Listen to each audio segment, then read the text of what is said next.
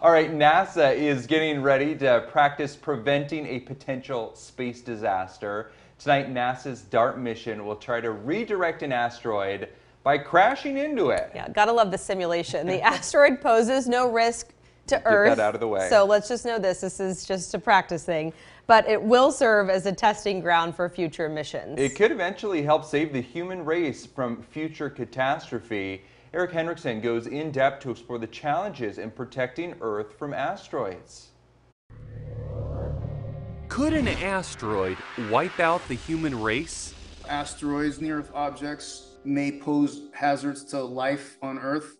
University of Texas space debris expert Dr. Moriba Jah says we now have the tech to deflect. You want to be able to go out to it um, and give it a little nudge. Basic physics lesson. If a massive object like an asteroid is hurtling towards Earth, a tiny push can redirect it, preventing an impact. DART is going to be useful only up to a certain class of asteroid. Other ideas include using light photons to push the asteroid.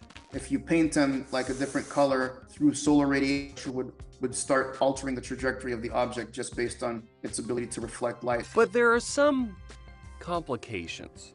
The closer the asteroid is, the harder it's going to be to deflect from the path. Dr. Jaws says the problem is We don't have enough eyes on the skies. detecting asteroids is challenging. For one, space is big and dark. So we have to see the sunlight being reflected off the objects. But that sunlight makes it impossible to see things coming from the sun's direction. That's like the blind area in a vehicle. And making things worse, We have a bunch of satellites that we're launching into space that are also reflecting sunlight. blocking our view.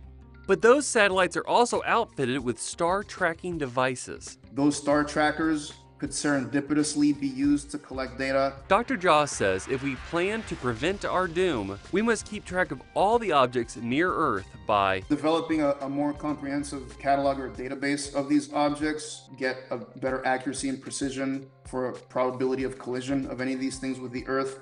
On Earth, Eric Hendrickson, KXAN News. Earth. I love that. nice. Uh, what a big deal happening tonight, 7 I know, p.m. I know. By tomorrow morning, we will know it whether or not Yeah. we will be saved It's from like a potential catastrophe. This small, and then the asteroid is like this Yeah. big. Right, yeah. And I mean, it helps when you don't have gravity up there. Yeah. They also have a, a little briefcase-sized uh, video camera, if you will, that's traveling behind it, There we go. capturing the That's whole thing. perfect. Yeah. Prime content. I know. We're going to be able to get some good-looking images out of that.